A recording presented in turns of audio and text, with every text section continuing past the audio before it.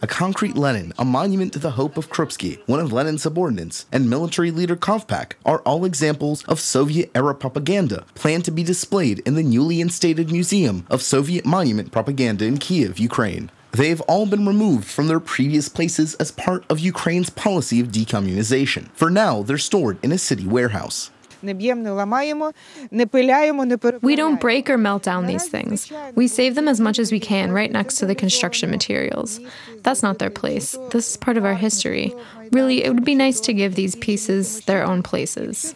That's the idea for the Museum of Soviet Monument Propaganda, says Kiev City Council Secretary Vladimir Prokopov. He's one of the founders of the museum. It will be set on the grounds of the Expo Center Ukraine, which contains many other preserved Soviet buildings and artifacts. The museum will cover two hectares of space. In place of the old fountain will be a pedestal, where visitors will be able to take photographs of themselves with symbols of the totalitarian regime. The idea is that this will become an interesting option for tourists to visit. The museum plans to collect the best examples of Soviet monuments from all over Ukraine. The most important criteria is the quality of the art or cultural significance. It will even take the largest monuments. This memorial from Zaporizhia has a length of 20 meters, including the base. Its dismantling was watched by the entire world, and its future was discussed with complete transparency. The residents of the city agreed to transfer it to a Kiev museum. One of the first exhibits will feature a memorial to Red Army Division Commander Mykola Shchors, a hero of the Russian Revolution. His memorial will still need to be dismantled. The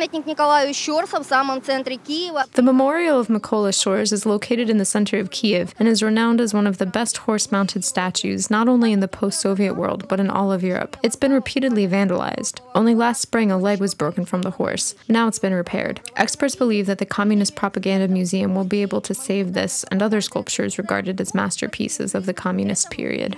Artists have called on saving notable communist memorials and monuments. They say that some priceless works of art have already been destroyed. One of the best memorials is the leader of the global proletariat, and this monument of Lenin wasn't only shown in Kiev and Ukraine. Masterful, professional work was made out of semi precious Karelian granite. At the end, 30 separate monuments were shown in an expo in New York, and four years ago, they were destroyed. Europe has a few museums of the type planned in Kiev. A private park in Lithuania is one of the largest, funded by a local millionaire.